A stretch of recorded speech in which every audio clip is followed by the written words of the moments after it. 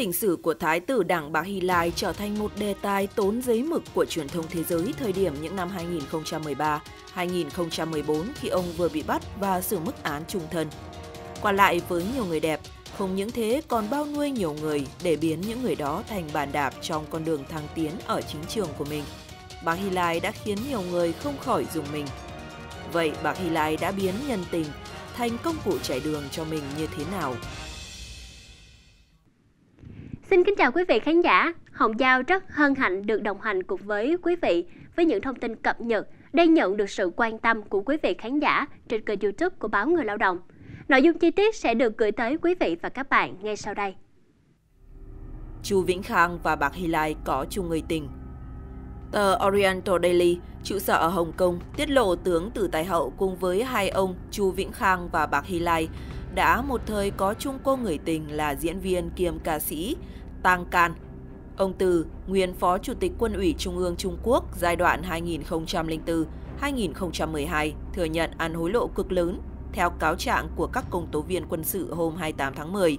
Ông này bị khai trừ khỏi Đảng Cộng sản Trung Quốc hồi tháng 6 năm 2014. Bên cạnh đó, ông Từ còn dính cáo buộc có cuộc sống cá nhân đổi trụy. Một trong những cô bổ nhí của ông Từ được cho là Tang Can, nữ diễn viên kiêm ca sĩ không mấy nổi tiếng. Cô Tang biến mất năm 2011 vì nghi ngờ liên quan đến tham nhũng. Theo tờ Oriental Daily, thời điểm năm 2014 đưa tin, Trước khi trở thành người tình của tướng Từ Tài Hậu, Tang Can được giới thiệu cho cựu Thứ trưởng Bộ Công an Trung Quốc Lý Đông Sinh và cựu Ủy viên Thường vụ Bộ Chính trị tại Trung Quốc Chu Vĩnh Khang cuối năm 1990. Khi đó, ông Chu còn là bí thư tỉnh ủy Tứ Xuyên. Tiếp đến, Chu Vĩnh Khang giới thiệu cô Tang với đồng minh thân cận của mình là cựu bí thư Trùng Khánh Bạc Hy Lai, người sau này bán cái cô bồ nhí xinh đẹp cho tướng Từ Tài Hậu. Ở tuổi 35, nữ ca sĩ họ Tang được đặc cách gia nhập đoàn ca mối nhạc hải quân trực thuộc quân đội Trung Quốc vào năm 2010 dưới sự che chở của ông Từ. Tháng 12 năm 2010, Từ Tài Hậu với danh nghĩa cá nhân đã yêu cầu Tang đi cùng ông trong một chuyến thăm cơ sở quân đội. Một đồng nghiệp cũ của ông Từ, cựu tướng Cốc Tuấn Sơn, 58 tuổi, bị buộc tội tham nhũng hồi tháng 4. Ông này cũng bị nghi ngờ qua lại với nữ ca sĩ Tang Can, các phương tiện truyền thông nước ngoài cho biết ông Từ từng dính quan hệ tình ái với một vũ công kiêm diễn viên. Cô này đồng thời là bố nhí của chính con trai ông Từ. Không chỉ dừng lại ở nữ ca sĩ họ Tàng, bà Hy Lai cũng từng dính dáng đến tin đồn về danh sách tình nhân dài như sớ của mình. Thời điểm cựu bí thư Trùng Khánh bị bắt và xử lý, trên nhiều diễn đàn ở Trung Quốc xôn xao về MC Trương Vĩ Kiệt, một trong những người được cho là tình nhân của ông Bạc Hy Lai, mất tích bí ẩn Trương Vĩ Kiệt, cô MC nổi tiếng trên đài truyền hình Đại Liên, bị đồn thổi có quan hệ tình ái với bà Hy Lai vào năm 1998 và từng công khai thách thức bà Cốc Khai Lai sau khi phát hiện mình có thai. Tuy nhiên, người đẹp tái hoa này đột nhiên biến mất một cách bí ẩn và tới nay vẫn không tìm được tung tích. Dĩ nhiên, dư luận hướng nghi ngờ về phía bà Cốc Khai Lai bởi vì sau khi biết được mối quan hệ ngoài luồng của chồng mình, bà Cốc tức giận đến mức lấy bút danh Vương Hồng để viết bài bôi xấu tình địch trên các báo một thời gian.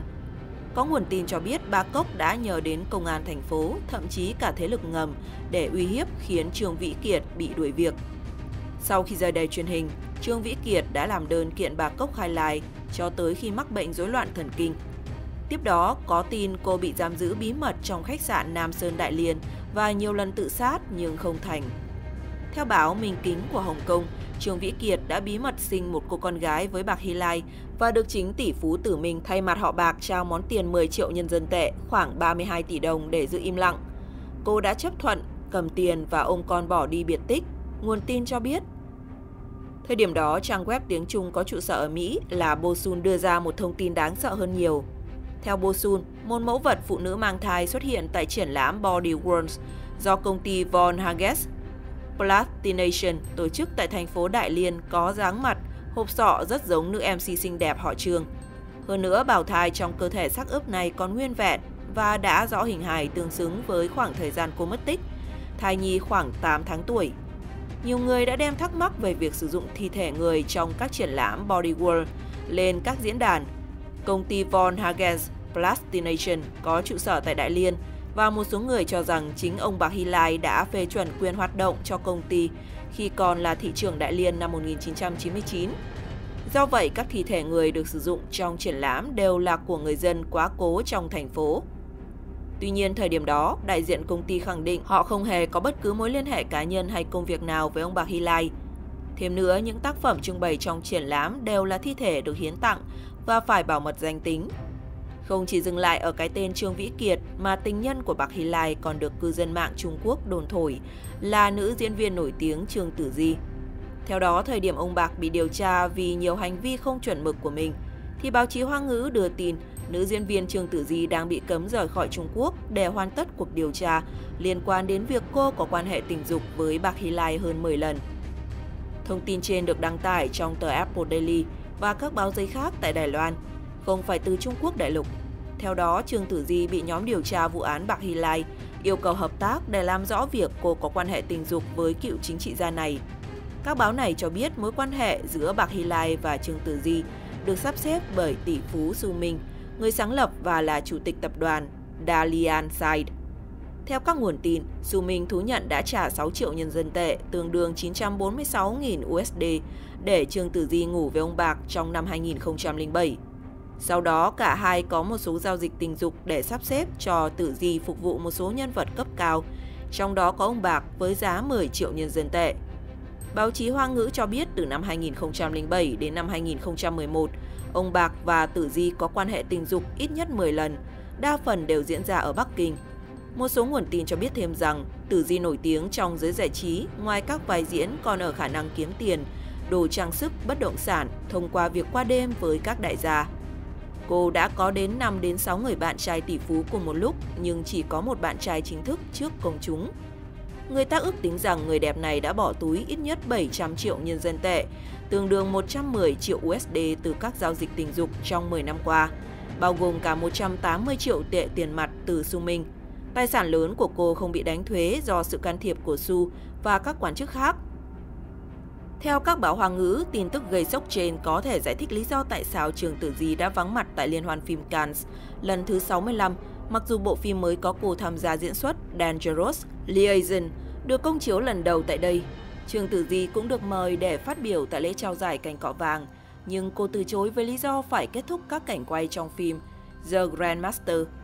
Tuy nhiên, theo các báo nêu trên, lý do thực tế có thể cô đang phải đối mặt với cảnh sát điều tra vì liên quan đến Bạc Hy Lai, dù mình và những hoạt động tình ái bí mật. Ngay sau những thông tin rầm rộ này, Trương Tử Di đã lên tiếng phủ nhận cáo buộc cô có quan hệ tình dục với Bạc Hy Lai, cựu bí thư Trùng Khánh để đổi lấy khoản tiền khổng lồ. Ngoài ra, thời điểm những năm 2012, người đẹp này còn cho biết sẽ khởi kiện những tờ báo đã đăng thông tin sai lệch.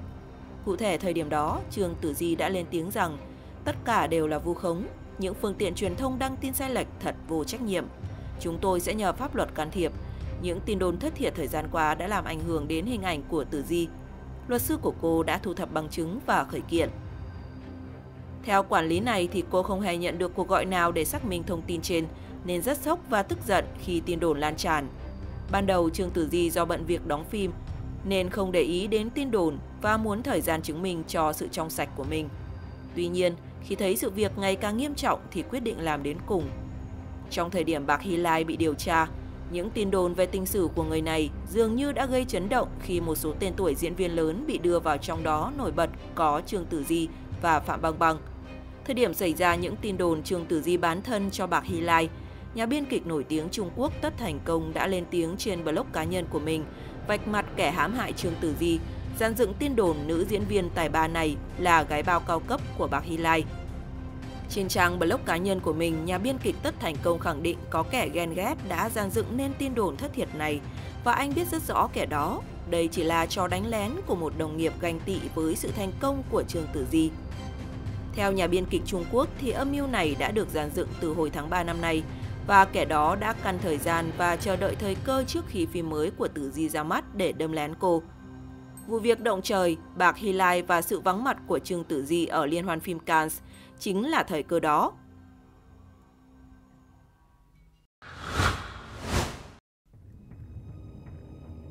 Vì sao vợ Bạc Hy Lai quay lưng với chồng? Thời điểm bạc Hy Lai bị đưa ra xét xử, một trong những điểm khiến cho dư luận quốc tế thời bấy giờ dậy sóng là bà Cốc Khai Lai đã làm chứng chống lại chồng mình là bạc Hy Lai để bảo vệ con trai. Theo đó, một nguồn tin thân cận của gia đình ông Bạc thời điểm năm 2013 tiết lộ với hãng tin Reuters rằng bà Cốc yêu bà Qua Qua rất nhiều.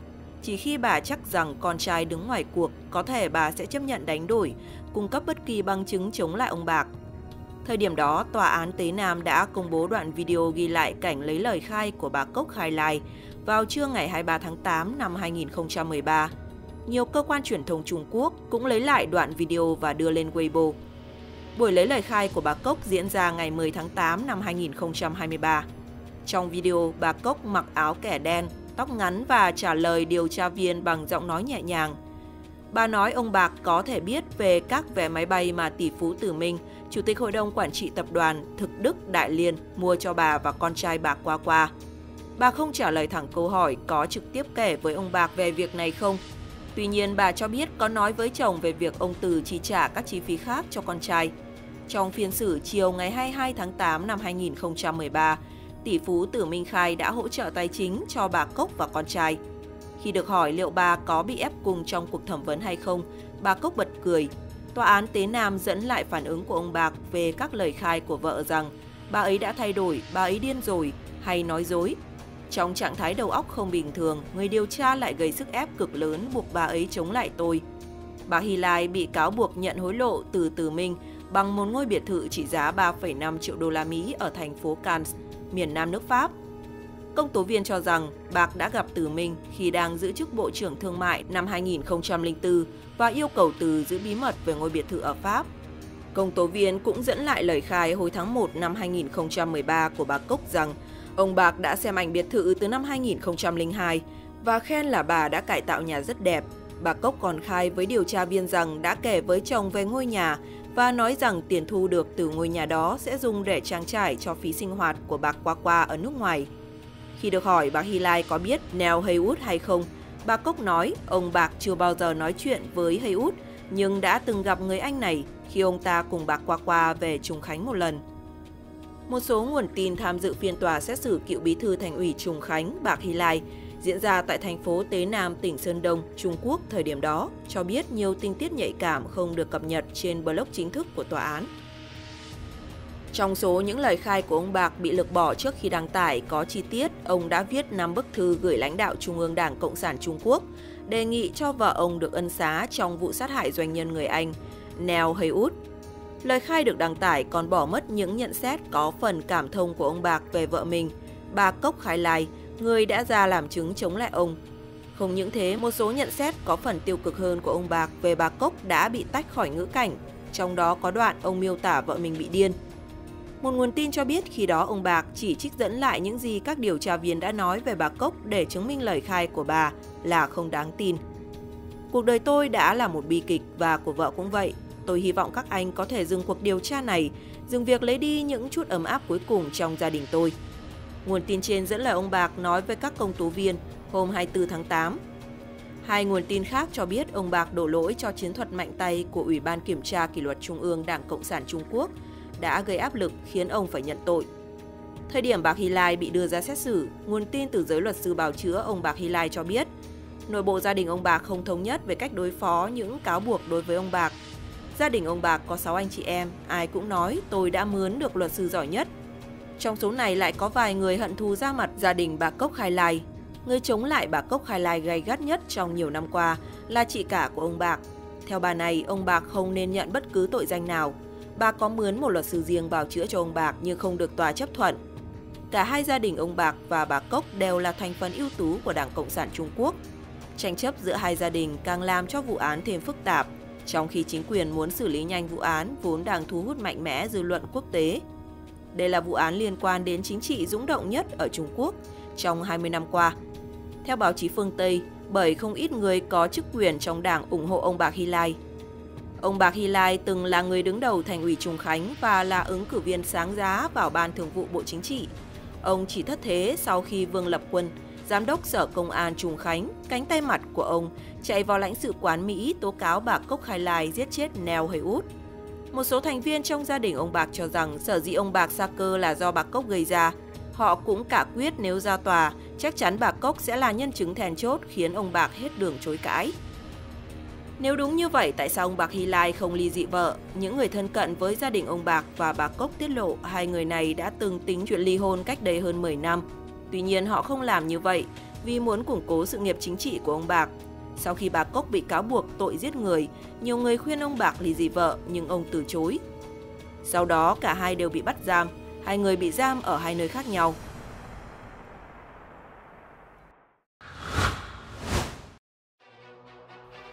Thái tử đảng Bạc Hy Lai và con đường quan lộ trải nhung.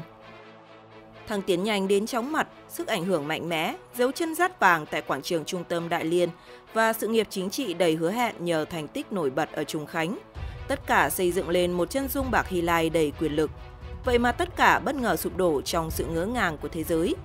Tại quảng trường thành phố biển Đại Liên, trung tâm công nghiệp bên bờ biển Hoàng Hải thuộc tỉnh Liêu Ninh, ta có thể thấy một cột hoa biểu ở chính giữa quảng trường đó là cột đá màu trắng sừng sững cao gần 20 mét với những con rồng uốn lượn xung quanh đám mây được chạm khắc trên chiếc cột trang trí. Đó là biểu tượng đế vương của Trung Hoa, biểu thị sức mạnh của các hoàng đế được dựng lên ở lâu đài hoặc các lăng mộ. Bên cạnh cột hoa biểu vĩ đại hiếm có, mọi người không thể không chú ý đến con đường bằng đồng dẫn ra bờ biển. Con đường này in dấu chân của 1.000 nhân vật nổi tiếng của thành phố, là công trình điêu khắc kỷ niệm 100 năm ngày Đại Liên, được coi như một thủ đô. Trong số những dấu chân đầy quyền lực đó có dấu chân hai bàn chân vàng lấp lánh thật sự nổi bật. Đó chính là dấu chân của ông Bạc Hy Lai. Khách du lịch tới đây luôn bị thu hút bởi đôi dấu chân này, trong khi các dấu chân khác mang màu đồng đen. Đây là hai dấu chân duy nhất được dát vàng. Mọi người thi nhau hướng máy ảnh đến chụp dấu chân của người một thời đầy quyền lực này. Nhiều khách du lịch còn ướm chân mình vào dấu chân của ông Bạc. Ông Bạc Hy Lai giữ chức chủ tịch thành phố Đại Liên từ năm 1993. Khi đó, ông 43 tuổi, Ông mệnh danh là người nghiện công việc và luôn ấp ủ quyết tâm biến Đại Liên thành Hồng Kông phương Bắc. Văn phòng làm việc của bà Hy Lai nằm trên tầng 3 tòa thị chính được xây dựng từ năm 1937 của thành phố. Nơi này được coi là căn phòng không ngủ vì ông thường xuyên làm việc thâu đêm và cộng sự của ông Bạc luôn phải chuẩn bị tinh thần bị triệu tập họp hoặc nhận điện thoại bất kỳ lúc nào kể cả đêm khuya. Chỉ trong 8 năm giữ chức thị trưởng bí thư Đại Liên, bà Hy Lai bố trí được chỗ ở cho một triệu dân và xử lý hết những dòng sông ô nhiễm trong thành phố. Ông thực hiện một loạt dự án xây dựng cơ sở hạ tầng. Để đạt được kết quả trên, ông Bạc luôn phải tỏ ra cứng rắn, thậm chí gây thủ án với không ít người. Một số người dân từ chối rời đi để nhường chỗ cho những dự án phát triển đô thị đã bị tấn công hoặc bị bắt giữ bởi nhà chức trách và các nhà thầu. Là con của một lão thành cách mạng Trung Quốc, ông Bạc là một thành viên trong nhóm thái tử. Nhờ những ảnh hưởng của cha mình và những hành động mạnh mẽ, thậm chí đôi khi tàn nhẫn, Bạc Hy Lai nhanh chóng leo lên nấc thang quyền lực.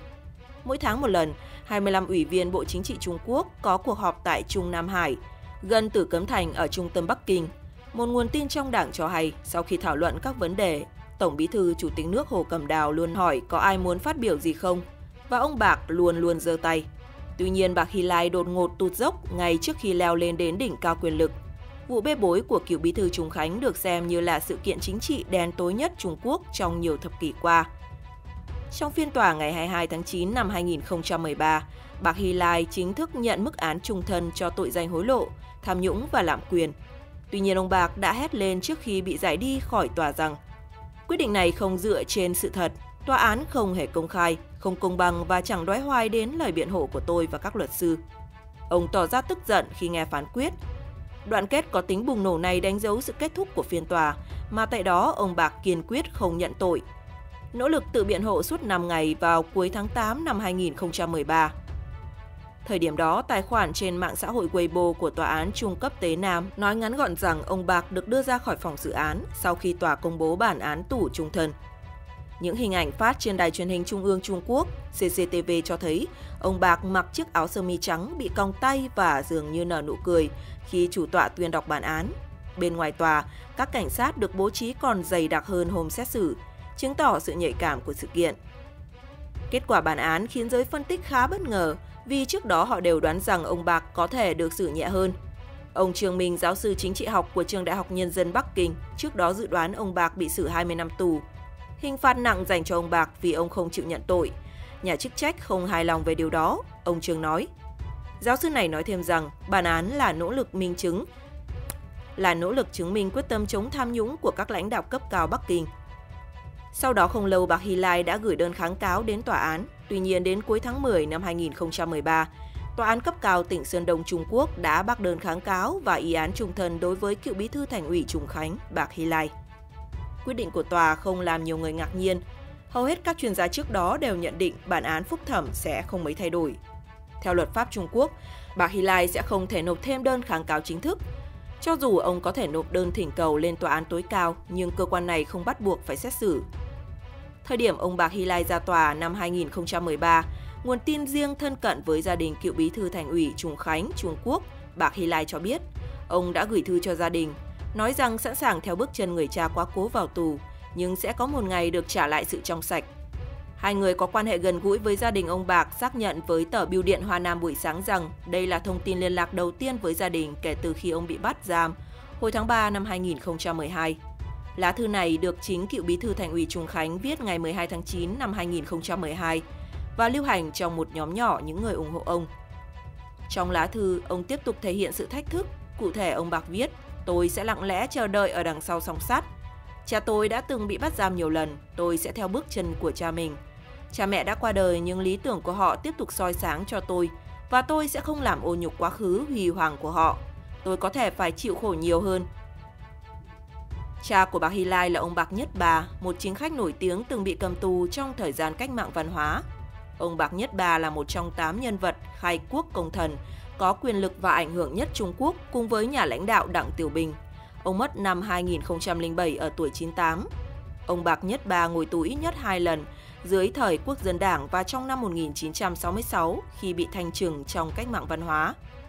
Đến cuối những năm 1970, ông Bạc Nhất Bà mới được phục hồi quyền lực. Theo các hồ sơ tư liệu, mẹ của ông Bạc Hy Lai đã quyên sinh trong thời gian cách mạng văn hóa. Ông Bạc không quên cảm ơn các thành viên trong gia đình đã ủng hộ ông. Trong những lúc khó khăn, tôi nhận ra rằng một giọt máu đảo hơn ao nước lã. Tôi cảm thấy mạnh mẽ hơn khi mọi người đã ngồi phía sau tôi trong phiên tòa. Cuối thư, ông Bạc nhắn nhủ hai người con trai, gồm Bạc Vọng Chi, con với người vợ cả, và Bạc Qua Qua, con với người vợ thứ. Vọng Chi và Qua Qua là những đứa con ngoan. Bố muốn các con giữ lấy truyền thống gia đình và làm được điều gì đó. Bố hy vọng hai đứa trở thành anh em tốt của nhau. Cũng trong thời điểm năm 2013, Trung Quốc đã xuất hiện một đảng mới mang tên Chí Hiến do những người ủng hộ cựu bí thư thành ủy Trùng Khánh Bạc Hy Lai. Bà Vương Tranh, giáo sư tại Viện Kinh tế và Quản trị Bắc Kinh, một trong những người thành lập đảng, tuyên bố ông Bạc là chủ tịch suốt đời của đảng và việc ông Bạc bị kết án trung thân vì tội hối lộ, biển thủ và lạm quyền là trái pháp luật. Tuy nhiên, bà Vương có những phát biểu khiêm tốn đáng ngạc nhiên khi khẳng định trí Hiến Nghĩa đen, hiến pháp là quyền lực tối thượng sẽ hoạt động trong khuôn khổ hệ thống. Bà nói, hiến pháp quy định Đảng Cộng sản sẽ lãnh đạo một thời gian dài và chúng tôi chấp nhận điều đó, chúng tôi chỉ muốn hỗ trợ Đảng Cộng sản để bảo đảm hiến pháp được tôn trọng và thực thi đầy đủ. Những thông tin vừa rồi đã khép lại chương trình ngày hôm nay. Hồng Giao rất mong nhận được sự quan tâm và đồng hành của quý vị dành cho các chương trình trên kênh YouTube của báo Người Lao động. Đừng quên nhấn chuông theo dõi chúng tôi để không bỏ lỡ bất kỳ thông tin cập nhật nào khác. Xin chào và hẹn gặp lại.